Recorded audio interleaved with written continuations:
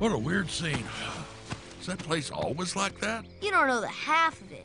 That village was terrible. All you ever hear is rules, rules, rules, and work, work, work. Whoa, kid. Watch your language. That's all they do. Washing, dressing, Oh, fetching, man. I'm tired just listening to it.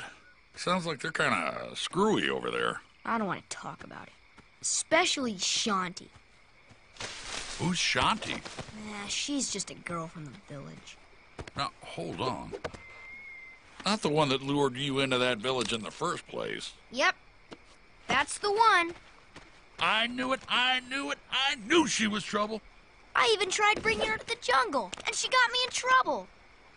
Say again. I, I just wanted her to see how much fun we have. And she got you into trouble for that? Yep. Oh, man. She thinks the jungle is a scary place. Where'd you get that crazy idea? She got me. Mm. Do my snake eyes deceive me? Ooh, it's the succulent man cub. Well, you're with me now, kid. I'm not worried. He's just like Kion, but bigger.